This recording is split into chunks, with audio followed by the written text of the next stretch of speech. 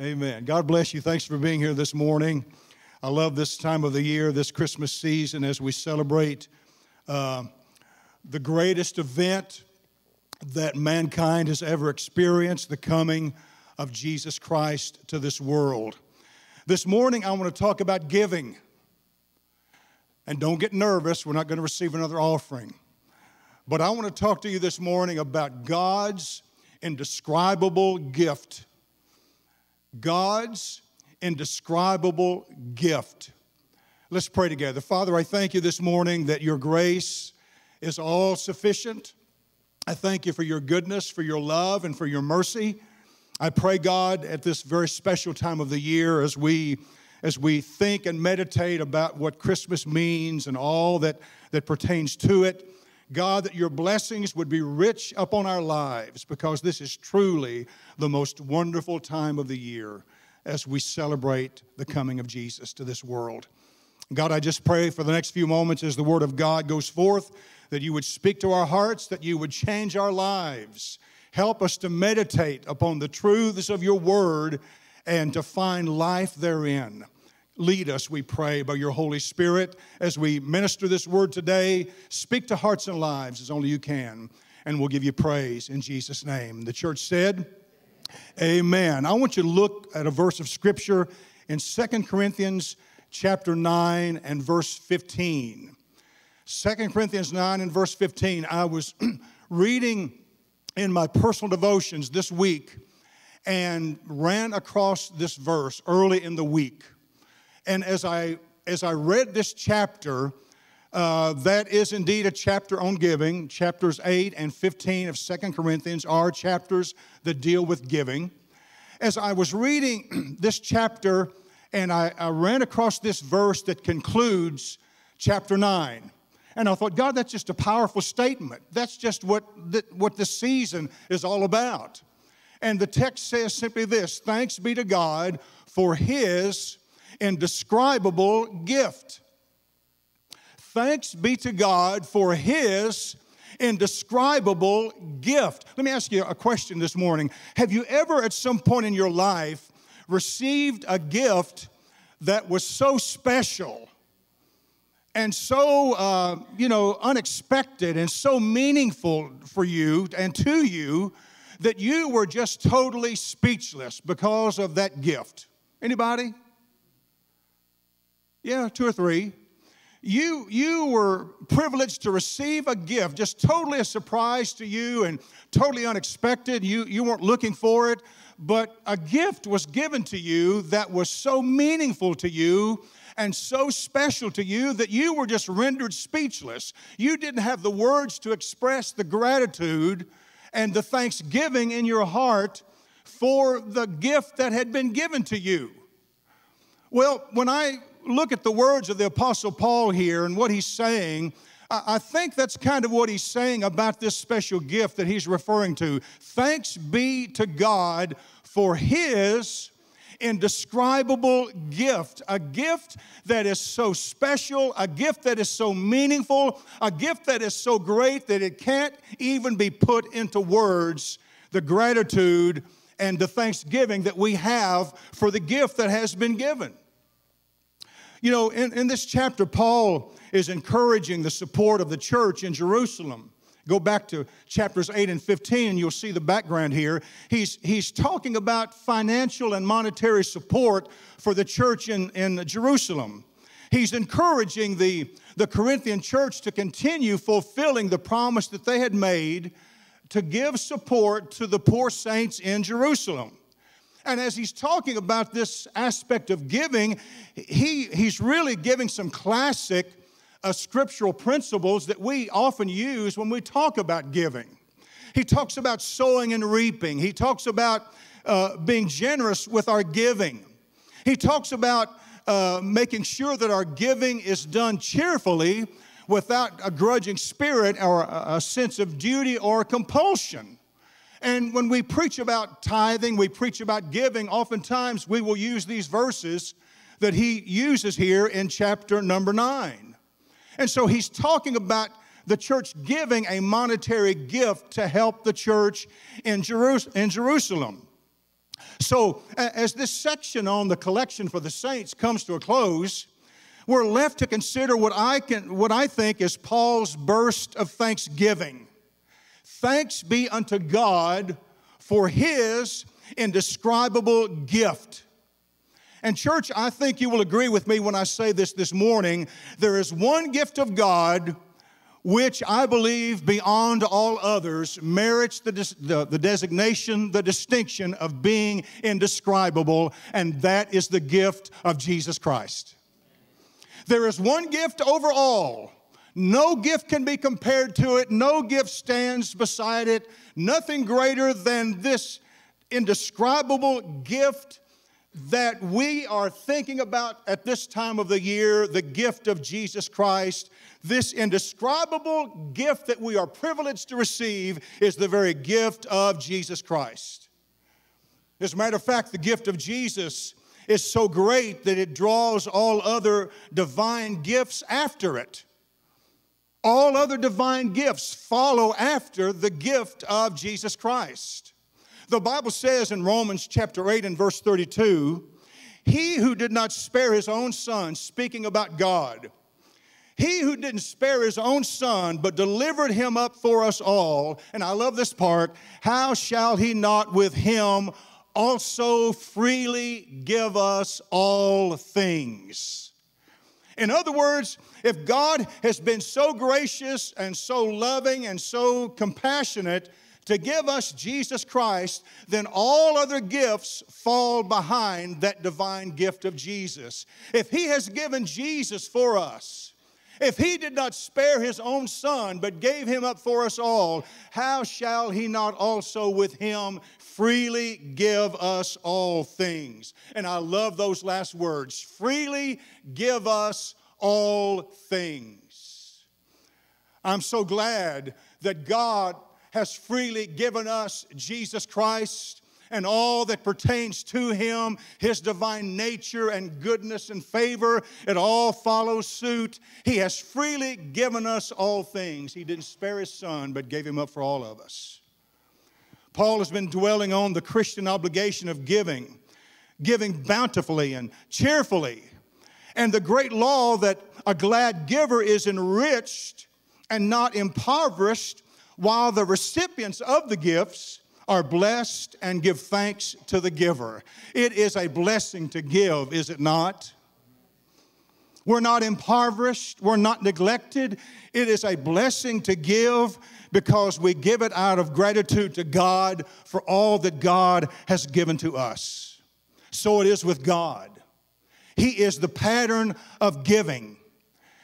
And to us, as recipients of His grand generosity, we express our gratitude to Him for Jesus Christ. Thanks be unto God for His indescribable gift.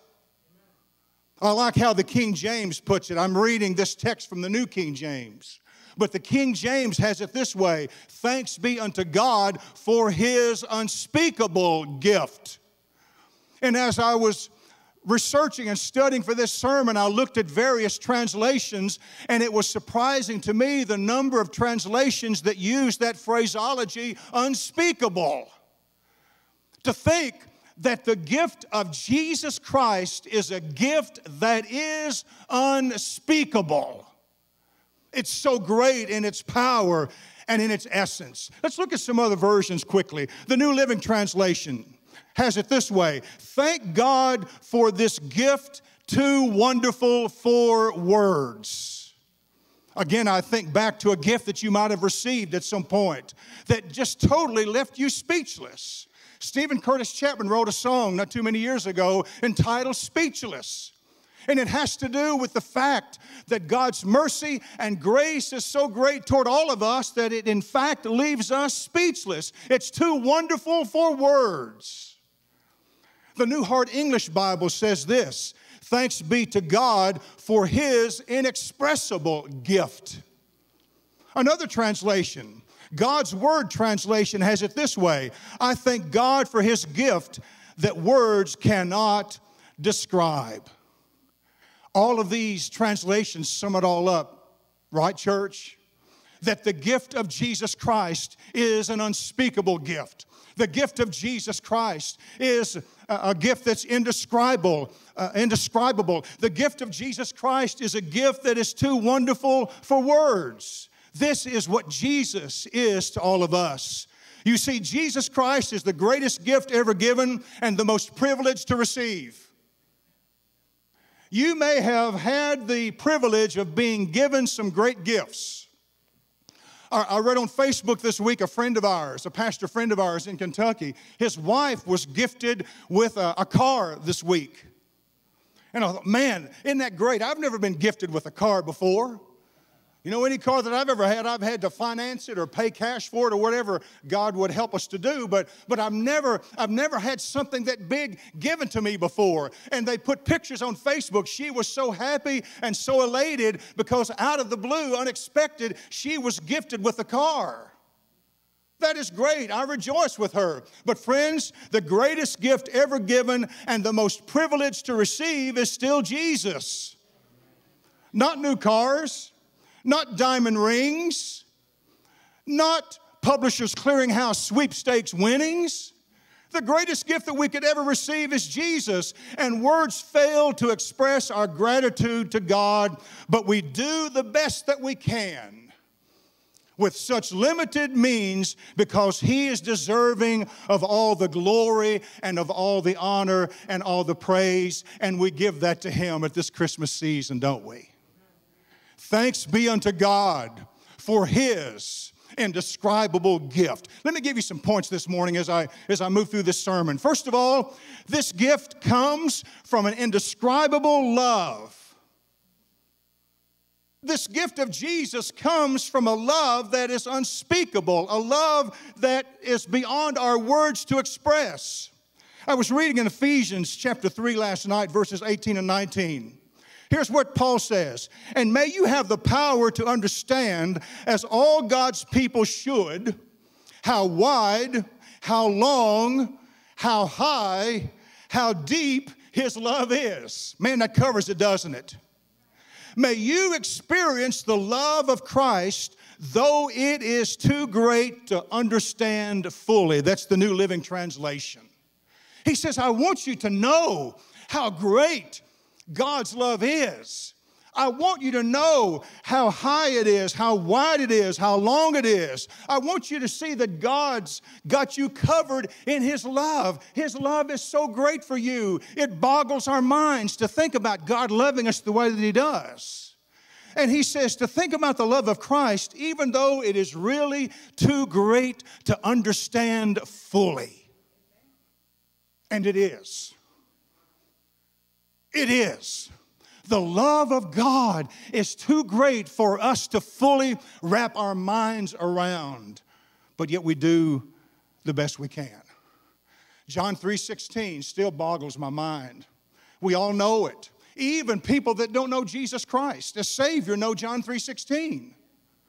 For God so loved the world that he gave his only begotten Son that whoever would believe on him would not perish but have everlasting life. Man, that is such a powerful declaration of how God feels for humanity, isn't it, church?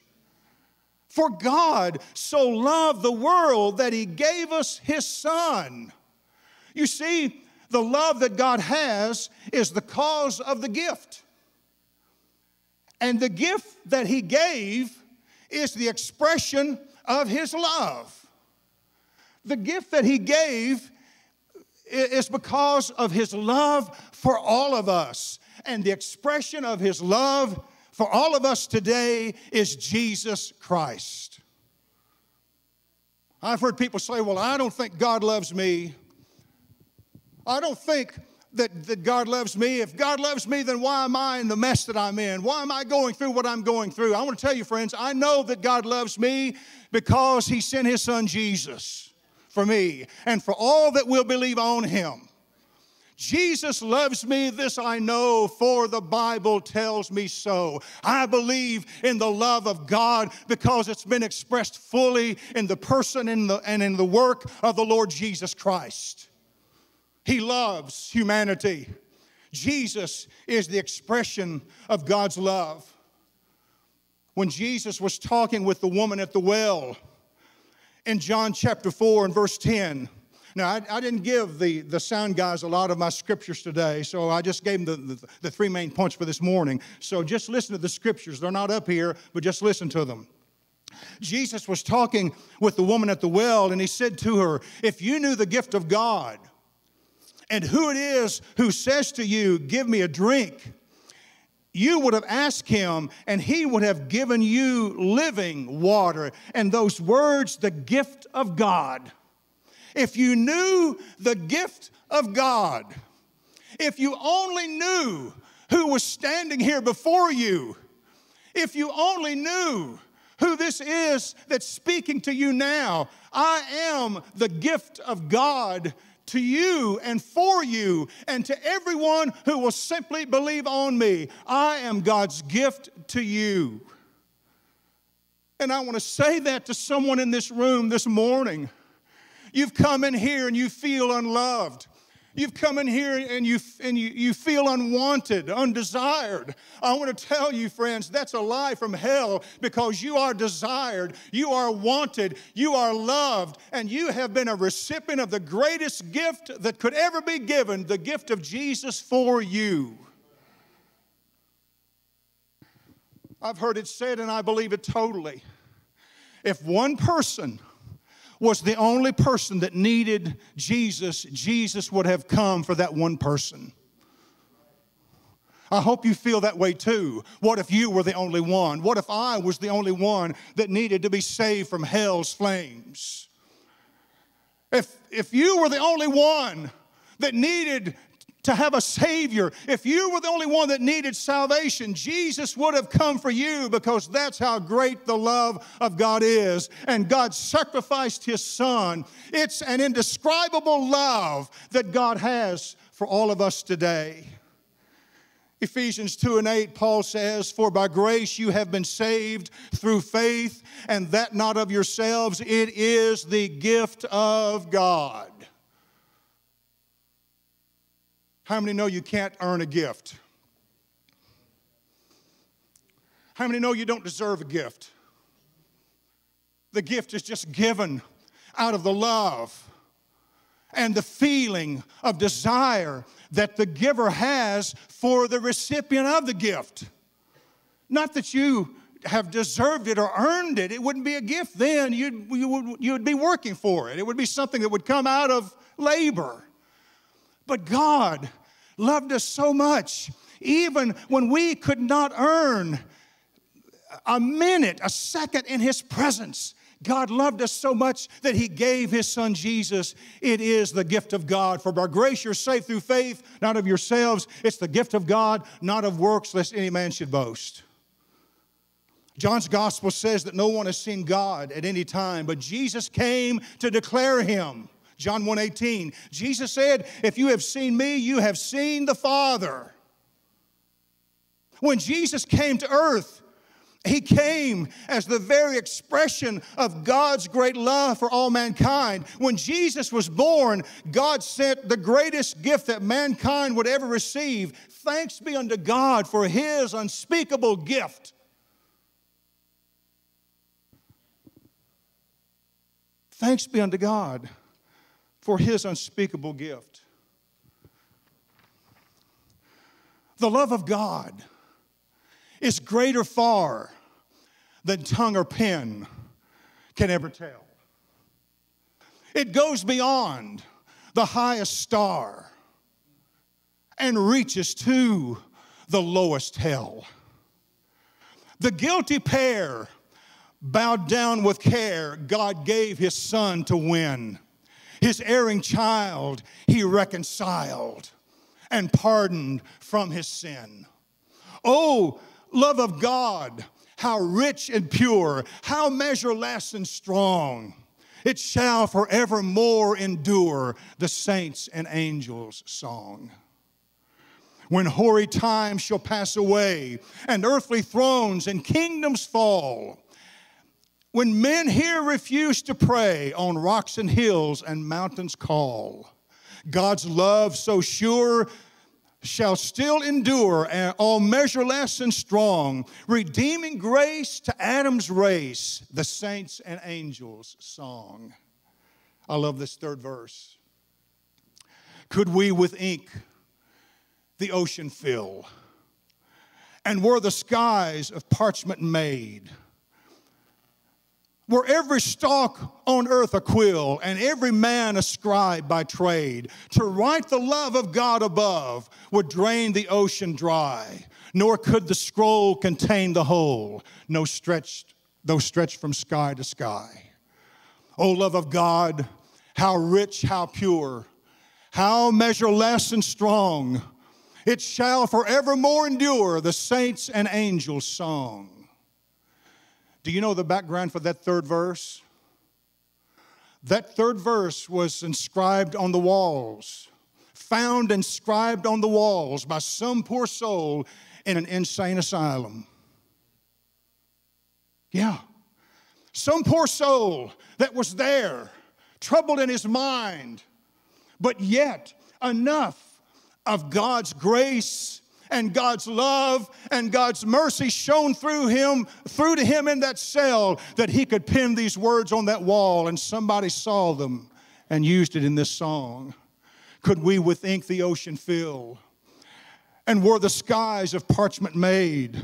Were every stalk on earth a quill and every man a scribe by trade? To write the love of God above would drain the ocean dry, nor could the scroll contain the whole, though stretched from sky to sky. Beloved, there is no way for us to understand this indescribable love that God has for me and for you this morning. But we celebrate it. I said, we celebrate it the love of God. This gift comes from an indescribable love. Secondly, this gift involves indescribable sacrifice. Human love desires to give its most precious treasures to the objects of its devotion. Divine love cannot and will not come short of this human characteristic. The copy is not going to surpass the original. God wrote the book on love. Who knows love better than God? Because God is love. God is love. God, in His love for us, made possible the greatest sacrifice for humanity that the world has ever known. God's love desires to give its most precious treasure to the objects of his, of his devotion, and that's you and that's me. Whenever you're going through the mully grubs and you don't feel loved, and you don't feel wanted, I want you to remember that you are the object of the devotion of God to the degree that God sent his son Jesus. Paul said, He that spared not his own son, but delivered him up for us all. He delivered him up for me. He delivered him up for you. God's love is so great that if the, ink, if the oceans were filled with ink, the oceans would run dry before the love of God could ever be fully declared. If the sky above us was parchment, and we were scribes, and every stalk on earth a quill, there would not be enough room in that parchment sky above us to write about the love of God for humanity, the sacrificial love that He has for all of us. In Genesis chapter 22 and verse 12, I remember the words God spoke to Abraham. Abraham was there and he was about to give his son as a, as a sacrifice to God because God requested it. God said, I want you to take your son to the place I'll show you of, and I want you to give him to me as an offering, as a sacrifice. He was the son of the promise. He was the child of the promise through which all the world was going to be blessed. But God says, I want him. I want him, Abraham. Give him to me. And Abraham had that hand drawn back with that knife in his hand, just ready to bring it down to slay Isaac. And the angel of God appeared and said, Abraham, stay your hand. Hold on just a moment. I see your heart. I see that you fear God.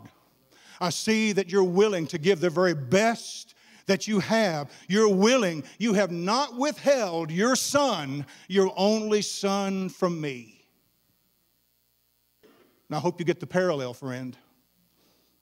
That God, that God, out of love, sent his son to earth for us as a sacrifice for us. God did not withhold his only son for humanity. Just as Abraham, with submission and obedience to God, bound and laid Isaac on the altar and stretched forth his hand with a knife to slay him, God sent his son to this world to be born in Bethlehem's manger with the destination an old rugged cross to effect my salvation. Friday night, Naomi and I went to Taylorsville, Kentucky. A friend of hers has been directing the, uh, the living Christmas tree there for several years, and she wanted us to come. So we went. Taylorsville, First Baptist Church, what a wonderful performance of that living Christmas tree and the gospel that was presented. But one song, one song among the many that were sung that night touched my heart like no other, and I sit there with tears in my eyes as I heard it from the cradle to the cross. From the cradle to the cross.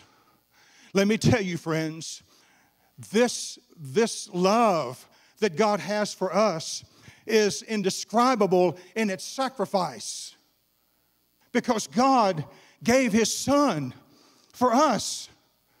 He did not withhold His Son, just like Abraham was, was willing to give Isaac. God in that, in that parallel has, has given his son Jesus. He did not withhold his son for us so that we could be saved. The Bible speaks of the sacrifice made to bring about our salvation. 2 Corinthians 8 and 9, for you know the grace of our Lord Jesus Christ, that though he was rich, yet for your sakes he became poor, that ye through his poverty might be rich. How many millionaires do I see here this morning? Yeah, all of us. Yeah, we're all not, not millionaires in a, a material sense, maybe, but we are all rich because Jesus Christ came to this world. The, the rich became poor that the poor might become rich. He sacrificed the splendors of heaven, knowing his destiny. The rugged cross of Calvary was his destination. From the cradle to the cross, he became poor that you through his poverty might be rich. Philippians 2 5 through 8. Let this mind be in you, which was also in Christ Jesus, who being in the form of God, did not consider it robbery to be equal with God, but made himself of no reputation, taking the form of a bondservant. And coming in the likeness of men, and being found in appearance as a man, he humbled himself and became obedient to death, even the death of the cross.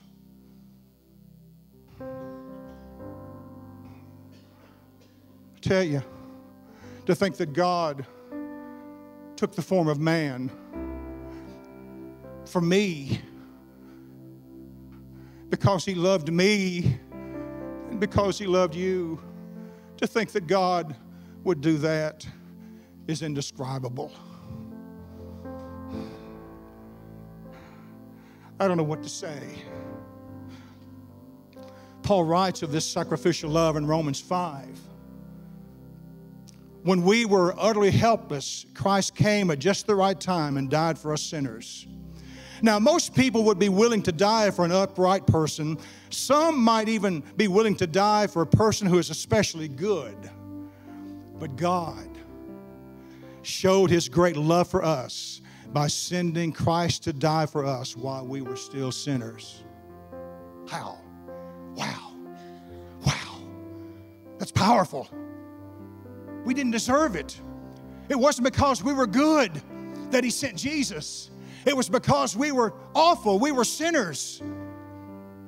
But God loved us so much that He sent Jesus to die for us while we were still sinners. Number three, this gift brings with it indescribable results. When God gave us Jesus, He gave us a storehouse of treasure that can never be fully comprehended or exhausted. The Bible talks about the unsearchable riches of Jesus Christ. I love this. He came to his own. His own did not receive him, John 1 11 through 12. But as many as received him, to them he gave the right to become children of God to those who believe in his name. What's the result of this, of this gift? It's that I might be a child of God. It's that you might be a child of God. It's that we might live in this world knowing that we're in right relationship with Christ, through, with God through Christ. And to know that when this life comes to an end, we will have an eternity to spend with God and all those who have gone before, all because of what Jesus Christ has done. I heard yesterday, as many of you have, that Reinhard Bonnke died early yesterday morning. 79 years of age. That German theologian had preached the gospel for many, many years of his life, and he died peacefully at his home, surrounded by his family yesterday morning. 79 years of age. Preached the gospel faithfully. Billy Graham said once, when, when I die, it's just going to mean a change of address. I won't stop living. When I, when I finally breathe my last breath, it's not really death because I'm not going to die. I'm just going to change my address. Church, let me tell you something. Because of what Jesus has done, because of his indescribable gift, one of these days we're all going to get to change our address. Hallelujah. We're going to get to change our address.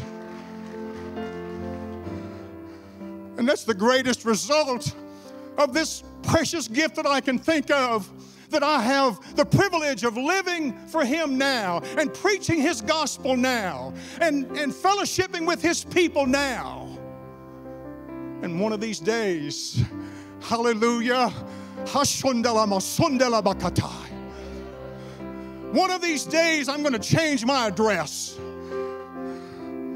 and I'm going to be in His presence forever. Forgive me for getting a little bit emotional, but when I think about that, it, it, it, it just stirs me. Thanks be unto God for His indescribable gift. And even though I can't put it into words, I can do the best that I can by thanking my God for His love for me. Hallelujah thanking my God for His love for me and for you. That God should love a sinner such as I, should yearn to change my sorrow into bliss, nor rest till He had planned to bring me nigh. How wonderful is love like this! Such love, such wondrous love such love, such wondrous love that God should love a sinner such as I. How wonderful is love like this. Would you stand to your feet with me this morning? And I just want you in your own way to thank God where you are at your seat. I just want you to thank God for His indescribable gift. Just thank God for His love for you. Just give God praise for His gift of Jesus Christ for you. Thank you, God. Thank you, God. Thank you, God. Thanks be unto God. Thanks be unto God. Thank you for the great love. Thank you for the great sacrifice. And thank you for the great result of what you have done. I give you praise. I give you praise. I give you praise, oh God. I give you praise, oh God. Thank you, Jesus. Thank you, Jesus. Beloved, if we go through this Christmas season and we don't remember the greatest gift of all, God help us. If we go through this Christmas season and we get so wrapped up in every activity and every get together and every dinner, every gift exchange, and we forget the greatest gift of all, this indescribable gift, may God help us. Because without Him, there would be none of it. There would be none of it. I got to ask this question before I let you go this morning. Anybody here that does not have a relationship with Christ? Anyone in this room that you don't have a relationship with Christ? He loves you. He cares for you. He's got a plan for your life to do you good and not evil, to give you a future and a hope. He's got a plan for you. But He wants you to submit your life to Him. For God so loved the world that He gave His only begotten Son, that whoever believes in Him should not perish, but have everlasting life. And the key is believing in Him. If we confess with our mouth the Lord Jesus Christ and believe in our heart that God has raised him from the dead, we shall be saved. We shall be saved. He wants your life today. Anybody in this room, if that's you, I just want you to raise your hand right where you are.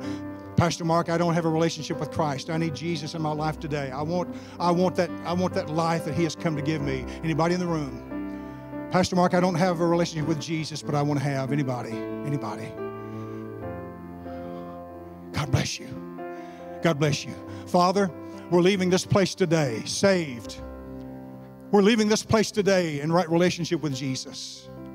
Now, Lord, keep us and bless us during this Christmas season. Guide and direct our lives in everything that you would have for us, Lord.